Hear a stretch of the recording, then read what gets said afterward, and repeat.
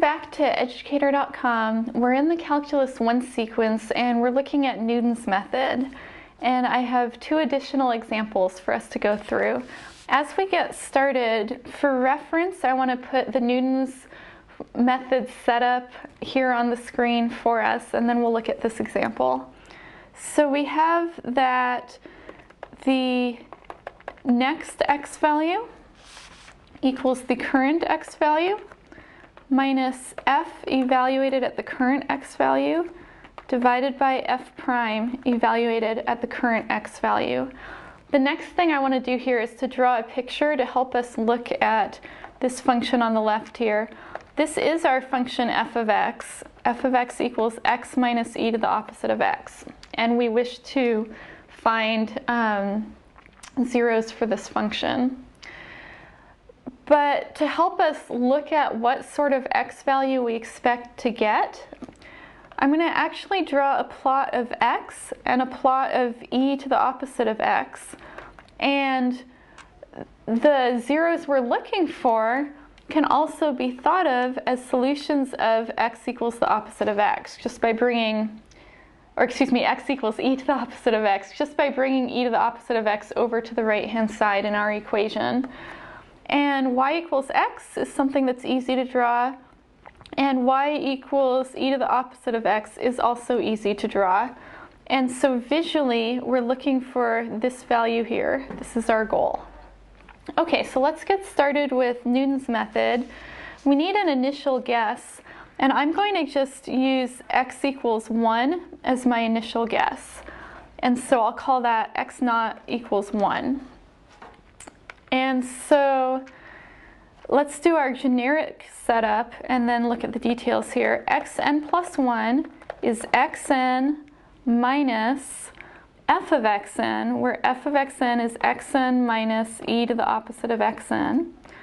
And then divided by f prime of xn, the derivative of x minus e to the opposite of x is 1 plus e to the opposite of x, and it's evaluated at xn. And so we're faced with evaluating these things. We can do a little bit of algebra here to simplify things a bit, and I think it's probably worth doing. So if we were to get a common denominator, we would multiply this first term by 1 plus e to the opposite of xn divided by 1 plus e to the opposite of xn.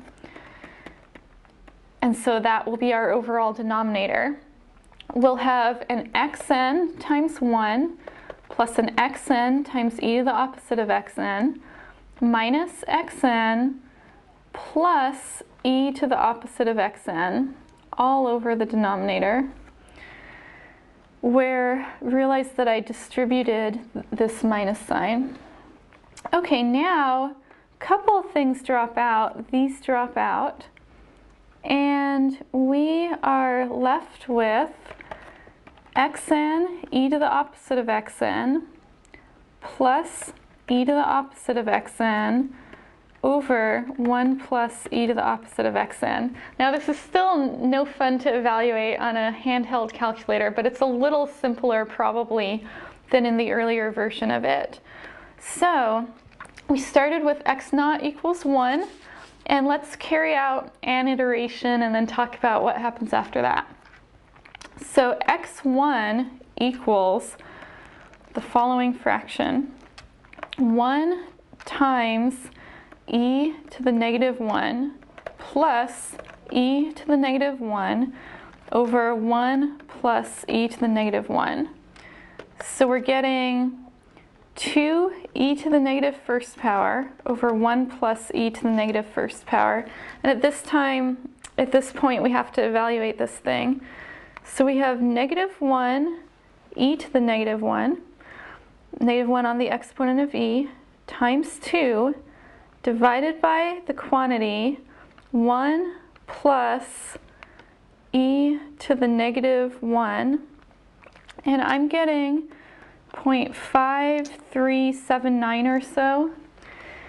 Now we could carry out additional iterations of Newton's method. And if we were to do that, we would see that our x values converge to approximately 0.567143 etc. And again, I would recommend that you have a piece of paper out and try this. Um, compute x2, maybe x3, and convince yourself that, yeah, you're getting results that are converging towards that number.